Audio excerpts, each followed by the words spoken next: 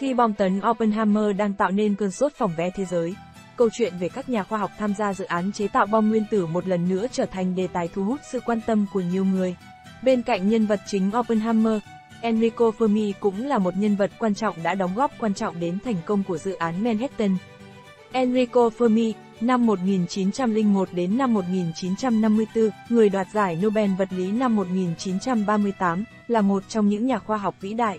Theo các truyền thuyết kinh điển về Fermi, ông có khả năng ước tính giá trị của bất kỳ tham số vật lý nào bằng những công cụ đơn giản nhất.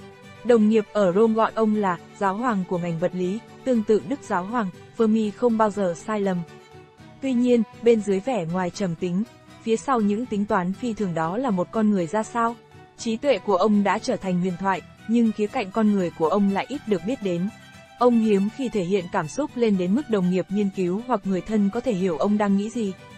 Cuốn tiểu sử, Giáo hoàng vật lý, của hai tác giả Gino Segre và Bettina Huelin, tái hiện cuộc đời của Enrico Fermi từ thời còn học sinh bình thường cho đến vai trò quan trọng trong dự án nghiên cứu và phát triển bom nguyên tử đầu tiên trong Thế chiến thứ hai.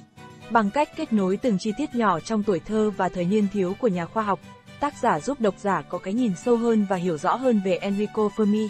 Trong khi Fermi dường như không bao giờ sai lầm, ông vẫn là một con người thực sự, vượt ra ngoài sách vở. Sinh ra trong một gia đình nông dân tại Rome, Italy, Enrico Fermi ban đầu bước vào con đường khoa học một cách yên ả. Không ai có thể phát hiện sự nổi bật ở cậu ngoài người bạn thân của gia đình người đã cho cậu mượn cuốn sách toán học đầu tiên, hướng dẫn cậu tự học và thuyết phục gia đình cho cậu đến với môi trường học thuật. Chỉ sau khi nổi danh, người ta mới thấy ông chính là thiên tài vật lý duy nhất của thế kỷ 20 hoàn toàn tự học. Bằng sự thầm lặng nhưng kiên định, chỉ với những chi tiết nhỏ, không khó để nhận ra sự khao khát khám phá tri thức đã bén rễ từ rất sớm trong Fermi. Một cậu bé trầm tính đã không ngại đến gặp đồng nghiệp của cha để hỏi về các bài toán, say mê nghiên cứu từ sách này đến sách khác. Trong khi toán học đang phổ biến ở Italy, Fermi vẫn kiên định với vật lý và tận dụng cơ hội để trở thành chuyên gia trong bất kỳ lĩnh vực nào ông quan tâm. Hơn thế nữa, Fermi còn sở hữu sự nhạy cảm và giàu cảm xúc, khiến ông luôn tìm cách kết nối với những người bạn có cùng đam mê từ thời còn học trường đến khi trở thành những nhà vật lý hàng đầu. Fermi và vật lý có thể trở thành một tác phẩm văn học đẹp đẽ và thơ mộng hơn, nếu những phát kiến của ông không phải đóng vai trò trong Thế chiến thứ hai. Những nhà khoa học như Fermi có vai trò quan trọng trong việc định hình lịch sử, nhưng cũng bị ảnh hưởng bởi lịch sử biến động. Hai tác giả Gino Segre và Bettina Huelin cho rằng, Enrico Fermi vừa là người sáng tạo vừa là sản phẩm của thời đại mình.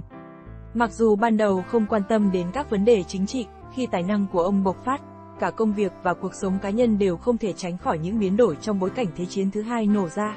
Vì vợ ông là người Do Thái, Fermi buộc phải rời Italy để tránh bị ảnh hưởng bởi làn sóng diệt chủng ở châu Âu,